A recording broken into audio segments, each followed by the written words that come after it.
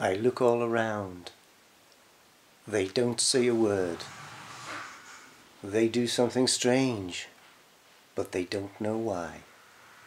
Have you heard them speak? Move over here. It seems so absurd how they act in such strange ways. Aliens are amongst us. No, no, nothing amazes me. Not anymore. Maybe I've seen and learned to ignore those aliens. Aliens are amongst us. If you look to the left and you look to the right, you'll see them reveling in their strange delight. Is it sane for them? Is it sane for you?